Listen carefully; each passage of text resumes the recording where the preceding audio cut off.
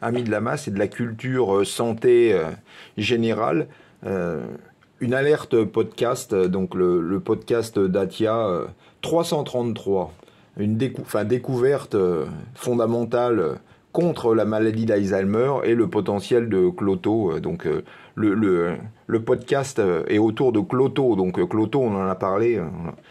Mais ce que je voudrais te signaler, alors Enfin, pour l'instant, j'ai pas tout écouté. Je suis à plus d'une heure, la moitié, quoi.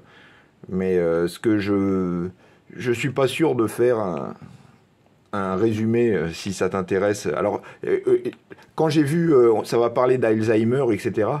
Je me suis dit, oh, c'est pas super intéressant. En fait, ça parle très peu d'Alzheimer. Le titre est pour, pour faire le buzz, mais ça parle à 100% de Cloto. Donc, Cloto, on en a parlé euh, très récemment, euh, tu vois, bénéfice, longévité du bicarbonate de, enfin les bénéfices, parce que j'essaie de réduire les titres, mais euh, les bénéfices, longévité du bicarbonate de potassium passent par une élévation de Cloto alors, euh, euh, ça a été euh, longuement décrit chez l'animal, et là, je crois que c'était la première étude. Alors, des, millions de vues, hein, mille. Donc, tu vois, autant dire que le sujet n'intéresse personne. Bah non, vivre plus longtemps en bonne santé, c'est moins bien que les conneries d'un tel qui menace de casser la gueule à un autre.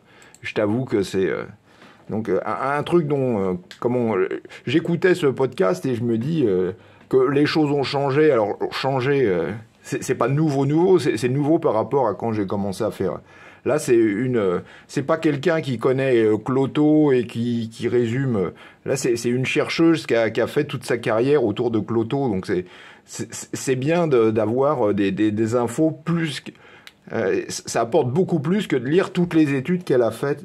Parce que tu, tu vois son raisonnement, des fois elle dit ça, ça n'a pas marché, ça, on n'attendait pas à ce que ça marche, etc. Et euh, ça apporte beaucoup, beaucoup plus euh, d'avoir le, chercheur spécialisé dans le, dans le domaine qui te parle de... Je te dis, c'est beaucoup plus vivant et, ça apporte beaucoup plus et tu comprends mieux les études euh, en écoutant. Donc ça, c'est une nouveauté, entre guillemets, qui n'est pas de nouvelle nouvelle, mais... c'est pour ça que c'est bien d'écouter les podcasts. Alors évidemment, il est en anglais. Ah, je suis désolé. Hein, je, je sais que tu vas dire que c'est de ma faute parce que tu n'as rien foutu à l'école, mais euh, j'y peux rien, il est en anglais. Puis je te dis, comme je travaille sur autre chose là, euh, euh, je, je, prendrai sûrement pas le temps de décortiquer parce qu'il y, y, a deux heures et demie. Donc s'il faut reprendre les bons passages et tout, ça prend un temps fou. tout ça pour faire 1000 vues au final. donc comme ça intéresse. Mais j'imagine que ça va intéresser plus de monde à regarder le, donc je voulais un te signaler ça, puis un, truc, à chaque fois il en reparle, il remet un, coup sur le jeûne intermittent, tu sais qu'il était à fond dans le jeûne intermittent et tout, et puis maintenant il en...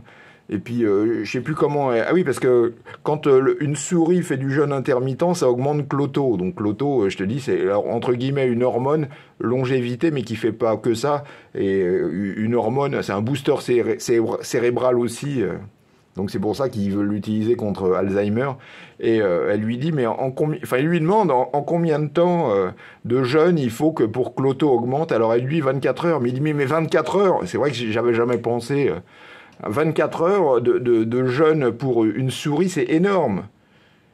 C'était pas une blague parce qu'il en parle après. J'ai vérifié parce qu'il savait plus.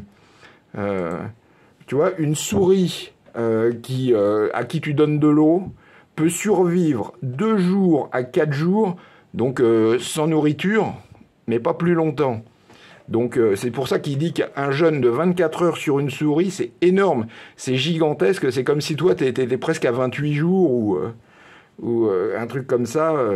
donc c'est pour ça qu'il dit, il se méfie de plus en plus des, des, des, études faites sur les souris par rapport aux jeunes, parce que ça correspond à rien de ce que, comment euh, il faut multiplier par, enfin, le, nombre d'heures de jeûne euh, pour une souris, je, vais encore chez la gorge sèche, désolé, il euh, faudrait encore comment le multiplier les heures. Faudrait pour nous, ce serait des jours.